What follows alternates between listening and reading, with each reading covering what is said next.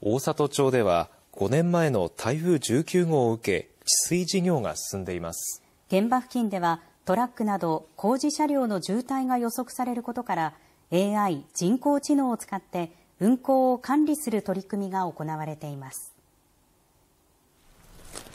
台風19号による豪雨で吉田川の堤防が決壊した大里町では可動掘削や堤防の強化などを行う治水事業が進んでいます工事現場では大量の土砂の運搬が必要となっていて往来するトラックで付近が渋滞しないよう運行を管理する取り組みが地域住民に報告されました。北上川下流河川事務所によりますと現場に定点カメラを設置し AI がその映像からナンバープレートなどの車両情報を解析。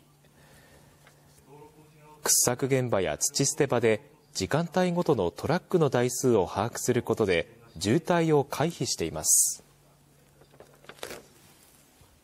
工事車両ですね、そういった管理もやっぱり AI 使って、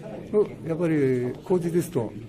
やっぱりその辺の生産性も上がってくるんじゃないかなと、私自分も思っております。工事をですねするにあたっては、やっぱり地域の方々になるべくご迷惑をおかけしないようにしていきたいというふうに考えておりますので、その辺はまた新たなですねまた技術も使いながらあの進めてまいりたいと思っております